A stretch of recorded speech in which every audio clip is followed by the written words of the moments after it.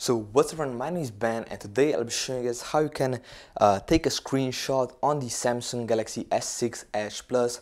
Now many of the Samsung devices have this option all the same but I'll still show you guys how you can actually do this. This is really simple to do but yeah if someone doesn't know this I decided to make a video on it so they will actually be able to take a screenshot and you want while why would you want to do that? Well, just to share uh, something with your friends that appears on your screen, for example. So, first off, what you do, let me just focus here.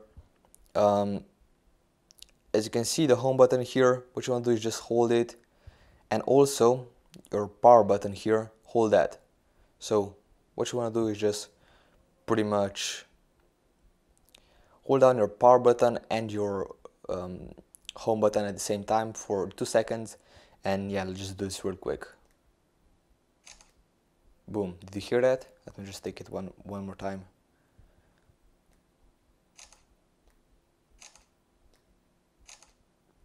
Boom. That's pretty much how to take a screenshot on this device. And how you can actually preview your screenshot. Actually let me just focus here. So you guys will be actually able to see the screen. Um, so yeah how you can actually preview this it will appear in your notification center. So you can just click on this here open with let's say photos and boom.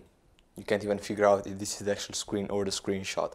But this is the screenshot really easy to take hold down the the power button the power button and the home button at the same time time and it will take a screenshot.